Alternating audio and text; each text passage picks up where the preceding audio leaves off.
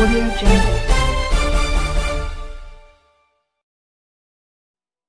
Salam sejahtera berita hari ini dipetik dari Sinar Harian. Najib guna penghakiman menentang mohon pengampunan diraja. Kuala Lumpur, Datuk Seri Najib Tun Razak akan menggunakan penghakiman menentang oleh Hakim Besar Sabah dan Sarawak Datuk Abdul Rahman Sebli dalam permohonan petisyen pengampunan dirajanya kepada Yang di-Pertuan Agong.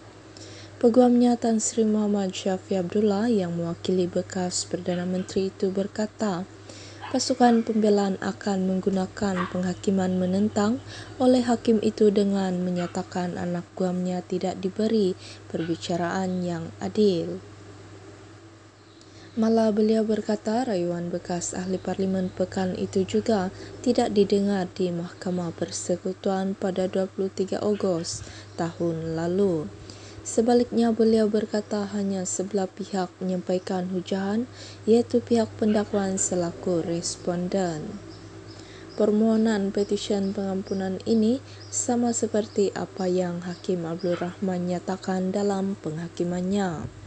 Kami akan hantar penghakiman ini kepada Agong termasuk keputusan penghakiman majoriti untuk perbandingan katanya.